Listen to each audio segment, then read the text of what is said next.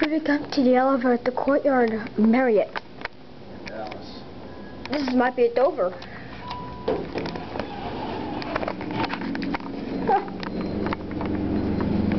Six. That's that good. Raw. Oh, How what's do you know the Dover?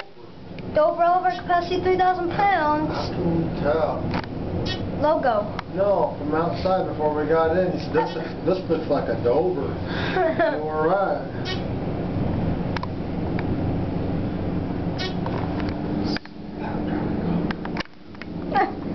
Alright.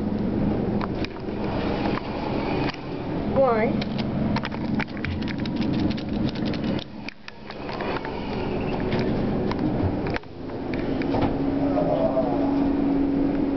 Pretty nice elevator though.